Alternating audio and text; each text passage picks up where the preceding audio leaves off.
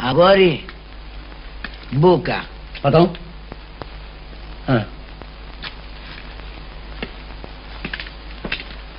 Ω, σερ Ο μαντάμ cher ami, ο κύριος Μπαρδούσης.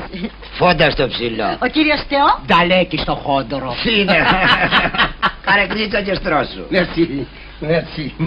Ωραία εκφράζεται ο κύριος Μπαρδούσης Τη στιγμή που χτυπούσατε το κουδούνι, πουλούσαμε ακριβώς για σας. Καταφωνή που λένε. Μην προσθέσετε κι ο Γάιδρος, τον γνώρισα Λοιπόν, ο Μαγκάκος είναι ξυπνός. Merci, merci Που λέτε κύριε Μπαρδούση; Λέγε με φόντα σκέτο. Μα σας ε, βολεύει καλύτερα; Ναι, ναι. Εγώ που λέτε κύριε Φόντα μου, γεννήθηκα σε χρυσή κούνια. Σ' όλη μου τη ζωή έτρωγα με χρυσά κουτάλια. Και στα 30 μου κληρονόμησα μια μεγάλη περιουσία από τον πατέρα μου.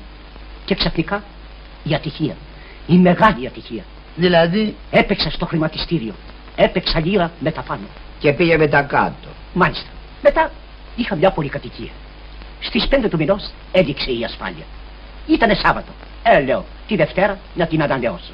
Και την Κυριακή κάηκε. Μάλιστα. Τι να σου πω μωρά αδερφέ μου, εσένα είναι να σε πάρει κανένας να σπάς το ρόδι την πρωτοχρόνια.